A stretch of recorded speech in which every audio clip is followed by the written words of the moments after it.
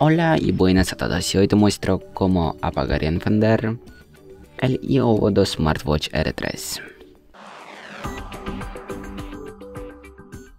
Pues bueno, para apagar nuestro reloj tenemos que presionar el botón de encendido. Y aquí aparezca una opción, ¿quieres cerrar? Aquí obviamente seleccionamos que sí.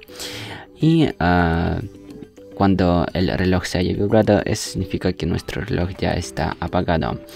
Y para encender tenemos que igualmente presionar el botón de encendido y esperamos un poquito. Y cuando se haya vibrado soltamos el dedo del botón y así hemos encendido este reloj. La verdad es muy fácil. Y bueno, si os gusta el vídeo, si esta información ha sido útil para ti, deja un me gusta y no olvides a suscribirse al canal. Hasta luego.